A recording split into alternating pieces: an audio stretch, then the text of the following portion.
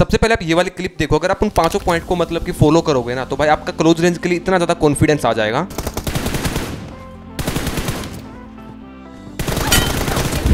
Simple सी भाषा में break down करो तो जब भी सामने बंदा है तो एक या फिर दो सेकंड के लिए क्राउच करो देन वापस से उसी मूवमेंट पे आ जाओ जो आप लोग देते हो, जो भी आपका जिगल है मिड रेंज है क्लोज रेंज जो भी जिगल देते हो, वो जिगल देना स्टार्ट कर दो, ठीक है? एंड होता कुछ नहीं, जब भी आप क्राउच करते हो ना, सामने वाला बंदा अपनी मूवमेंट दे रहा होता है, क्योंकि आपने अपनी मूवमेंट छोड़ दिया, आप बिल्कुल स्ट्रेट बैठे और सामने वाला बंदा जैसे ही मूवमेंट देते हुए आपके क्रोसर के बिल्कुल सामने आएगा तो उसको हेडशॉट लगने वाले हैं, लेकिन आपको इसमें एक गलती नहीं करनी है, अगर आपका एम असिस्ट ऑन है ना, तब आपको ये चीज़ नहीं करनी है एंड बिल्कुल मैं बताऊँ तो भाई आपको रिस्क लेके इस वाली चीज़ को नहीं करना है बट मैं देखता हूँ भाई 90% आप लोग ही विन करते हो, अगर आप लोग ऐसे करते हो मतलब अचानक से एक या दो सेकंड के बीच में मतलब कि जिगल देते हुए, एक या फिर दो सेकंड क्राउच कर देते हो तो सामने वाला बंदा इजी टेक डाउन हो जाता है। अगर आपका एम असिस्ट ऑफ़ है तो ठीक है? तो काफ़ी सारी चीज़ें मैं आपको बताऊँगा इस वाली वीडियो में, काफ़ी कुछ सीखने को मिलेगा। वीडियो बहुत टाइम बाद आ रहा है, अगर आप लोग मेरी बात पहली बार सुन रहे हो तो यार लाइक एंड सब्सक्राइब कर देना। हम हंड्रेड के सब्सक्राइबर्स के बहुत ही ज़्यादा करीब है, ठीक है? तो फटाफट से बता दो तो मैं चार से पाँच पॉइंट कवर करने वाला हूँ। देखो, हम जब भी किसी प्रो प्लेयर लेजिट प्लेयर की मतलब टूर्नामेंट्स या फिर मतलब लीन इवेंट्स वगैरह की वीडियोस देखते हैं तो हम लोग सोचते हैं, भाई जितने बंदे टूर्नामेंट्स में खेलते हैं ना कॉम्पिटेटिव प्लेयर्स जो होते हैं, उनकी तरह हम खेल ही नहीं पाते, भाई क्लोज रेंज में, ठीक है? बट वो लोग एक ऐसा सीक्रेट यूज़ कर रहे हैं जिसको आज मैं रिवील करूँगा एंड हो सकेगा तो भाई मैं अगली वीडियो में हैंड कैम के साथ उसको समझाने की कोशिश भी करूँगा, ठीक है? बट आज केवल मात्र मैं उसको रिवील करूँगा, लेकिन सबसे पहले मैं आपको थोड़ा बेसिक तीन पॉइंट्स बता देता हूँ। एंड जिन बंदों को इन बेसिक तीन पॉइंट्स के बारे में नहीं पता है तो मतलब कि उनका गेम प्ले उन तीन पॉइंट्स की वजह ही रुका हुआ ठीक है? बहुत सारे बंदे क्या करते हैं एडवांस टिप्स जो होती है ना, वो पहले ले लेते हैं एंड भाई जो बेसिक होती है ना, उनको फॉलो ही नहीं करते। बट मैं बोलूँगा कि बेसिक एंड एडवांस दोनों को साथ लेके चलना एंड एडवांस पे भी चलेंगे एंड बेसिक पे भी चलेंगे, लेकिन सबसे पहले बेसिक पे चलते हैं। बेसिक में आपको पहला पॉइंट बताता हूँ, वो है भाई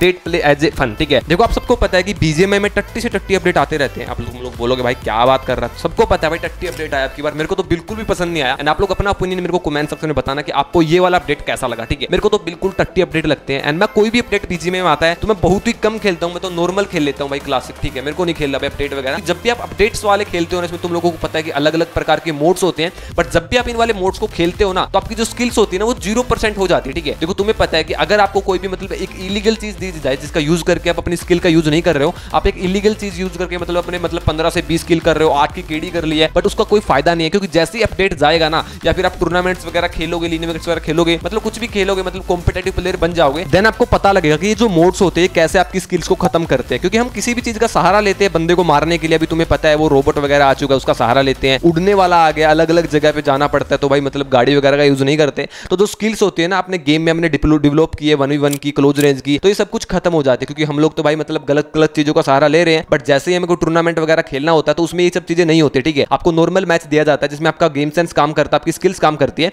बट आपने तो वो खो दिए मोड्स खेल के तो मैं बोलूँगा ज़्यादा उनको नहीं खेलना, वरना आपकी क्लोज रेंज टट्टी हो जाएगी। बट आप लोग बहुत सारे बंदे सोच रहे होंगे, भाई आप लोग मतलब आईडी कहाँ से लिया, ठीक है? वो सब बाद की बात है, लेकिन सबसे पहले ट्विस्ट आता है कि तीसरा पॉइंट बेसिक में कौन सा है, उसके बाद एडवांस पे चलते हैं। जो बेसिक में तीसरा पॉइंट है, वो ये है कि आपको कभी भी है ना गेम को खेलना छोड़ना नहीं है, ठीक है? आपको एवरी डे एक घंटा तो गेम में देना ही है। बहुत सारे बंदे करते क्या है? दो से तीन में दिन में एक बार खेलेंगे, या फिर एक दिन छोड़ देंगे, दूसरे दिन खेलेंगे, या फिर एक दिन तो खेलेंगे नहीं। जैसे आप मेरे चैनल पे देखोगे तो मेरे को वीडियो डाले हुए एक हफ़्ता हो गया, ठीक है? तो इसका मतलब ये नहीं है कि भाई मैंने एक वीक से गेम नहीं खेला। मैं एवरीडे गेम खेलता हूँ बट सम ऑफ़ रीजन की वजह से मैं वीडियो नहीं डाल पा रहा था, ठीक है? सब कुछ रिकॉर्डेड है, और मेरे पास स्क्रिप्ट वगैरह सब कुछ लिखा हुआ है कि भाई कैसे, कौन सी चीज़ें कैसे इंप्रूव कर सकते हैं। बट मैं बना ही नहीं पा रहा भाई लिटरली ठीक है? बट मैं गेम एवरीडे खेलता हूँ, क्योंकि मुझे पता है भाई, अगर मैं ही नहीं खेल सकता तो मैं बंदों को घंटा सिखाऊँगा, ठीक है? तो इस पॉइंट के लिए भाई वीडियो को लाइक भी कर देना, यहाँ तक देख रहे हो तो सब्सक्राइब भी कर देना। अब एडवांस पे चलते हैं। एडवांस पे ज़्यादा टाइम नहीं लेंगे, दो से तीन पॉइंट है। एंड लास्ट में आपको मैं ये भी बताऊँगा कि आईडी का क्या सीन है, ठीक है? तो एडवांस का जो अपना पहला पॉइंट है, वो भाई पुल योर जोस्टिक बैक देखो, बहुत सारे बंदे क्या करते हैं फाइट लेते टाइम क्लोज रेंज में जब भी जिगल देते हैं तो अपनी जोस्टिक को ना आगे की तरफ़ जिगल देते हुए, आगे की तरफ़ अपने करेक्टर को ले जाते हैं. बट आपको ऐसा नहीं करना है. आपको हमेशा स्ट्रेट फाइट लेना आपको कभी भी ना बंदे के अंदर नहीं घुसना है.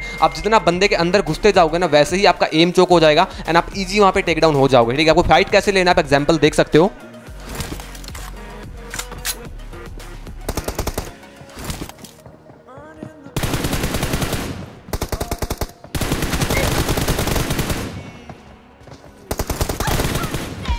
अगर आप लोग स्ट्रेट फाइट लोगे ना तो बंदे को हेड लगने के चांस ज़्यादा रहेंगे एंड आपके चोक करने के चांस बहुत ही कम रहेंगे एंड सामने वाला बंदा ना पैनिक होता है अगर आप लोग स्ट्रेट फाइट लोगे, ठीक है? क्योंकि सामने वाले बंदे के ऊपर प्रेशर डालो कि वो आपके ऊपर रस कर देना कि आप उसके ऊपर रस करो, ठीक है? अगर आप लोग ऐसा करोगे तो सामने वाला बंदा पैनिक होकर वैसे ही मर जाएगा, ठीक है? अभी दूसरे पॉइंट पे चलते हैं, उसके बाद जो तीसरा पॉइंट है ना अपना मतलब एडवांस का, वो लास्ट पॉइंट रहेगा बट उसके बाद बोनस टिप भी मिलेगा तो वीडियो को स्किप नहीं करना एंड यहाँ तक देख रहे हो तो सब्सक्राइब प्लीज़ से कर दो यार वीडियो को लाइक भी कर देना। अपना जो नेक्स्ट पॉइंट है वो पिक्सल पीक है, लेकिन यहाँ पे एक तगड़ी बात ये है कि आपको कभी भी ना क्लोज रेंज में एडीएस नहीं खोलना चाहिए। जो आप पिक्सल पिक देते हो, उसमें क्रोशियर से बंदे के ऊपर डैमेज देना होता है। एंड जब भी सामने वाला बंदा पिक्सल पिक देके बैठा है ना तो कभी भी रस नहीं करना चाहिए। मैं क्यों बोल रहा हूँ?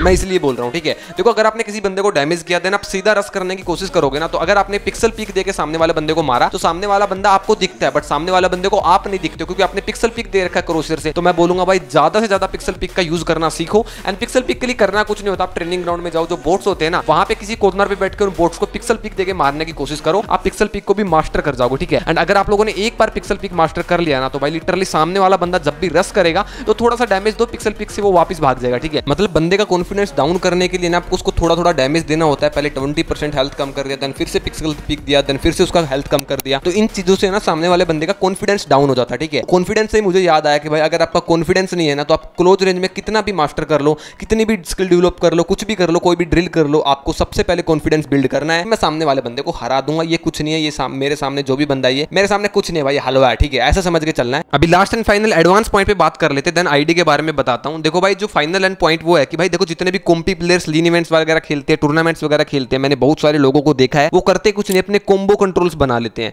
मतलब वो फोर फिंगर खेल रहे हैं बट वो क्लोज रेंज में थम खेलते हैं फाइव फिंगर खेल रहे हैं क्लोज रेंज में थम खेलते हैं एंड कुछ बंदे जो है थम भी खेलते हैं, ठीक है? तो थम में होता कुछ नहीं जिगल एंड जो एम होता है ना, वो एक परफेक्शन आ जाता है एक चीज़ का कि हाँ परफेक्ट एम रहेगा अगर थम खेल रहे हो तो ठीक है? तो मैं बोलूँगा, अगर आप लोग भी अपने कोम्बो कंट्रोल्स बनवाना चाहते हो तो मैं इसके ऊपर एक हैंड कैम वीडियो बना दूँगा। खुद से आप लोग इस वाली वीडियो को देख के बना सकते हो तो भाई आप लोग बता देना। अगर आपको ज़रूरत है भाई मेरे को कोम्बो कंट्रोल्स बनाने हैं तो कमेंट कर देना, जितने ज़्यादा कमेंट्स आएँगे। उसके हिसाब से नेक्स्ट वीडियो उसी टॉपिक पे होगा, ठीक है? बाकी वीडियो को लाइक कर देना एंड भाई आईडी की बात कर रहे हो भाई, तुम अलग अलग आईडी कहाँ से लेके आ रहे हो? देखो, जब तुम लोग कहाँ, कहीं पे नहीं होते ना, आपको कोई नहीं जानता, तब आपकी हेल्प कोई नहीं करेगा। एंड जब आपके पास थोड़ा बहुत मतलब कुछ अचीव कर लेते हो लाइफ में, जैसे तुम लोगों को पता है कि तुम्हारे भाई के सेवेंटी के सब्सक्राइबर्स है एंड सब कुछ आप लोगों की वजह से हुआ है, मैं यहाँ तक पहुँचा हूँ। शुरुआत में भाई कुत्ता भी नहीं पूछता था मेरे को बट अभी के टाइम पे देखोगे ना तो बिना पैसे दिए बंदे आईडी दे देते भाई खेलो भाई, तुम मौज काटो भाई नेम चेंज करना नेम चेंज कर लो, ठीक है? तो मैं बोलूँगा, भाई लाइफ में कुछ अचीव करो, जब अचीव करोगे तो तुम सब, तुम लोगों के पास सब कुछ आ जाएगा, पैसा आ जाएगा मतलब मतलब फेम आ जाएगा, ये चीज़ें आ जाएगी ना तो पूरी फैमिली पूरा भाई, सही बोल रहा हूँ रिलेटिव्स भी आपके पास आ जाएँगे, ठीक है? तो मैं बोल रहा हूँ, भाई, कुछ अचीव करो लाइफ में गेम खेलने से कुछ नहीं होगा एंड भाई, मैं लास्ट में मोटिवेट कर रहा हूँ तो ये मतलब नहीं है कि गेम मत खेलो गेम से भी कुछ कर सकते हो, भाई गेमर बनो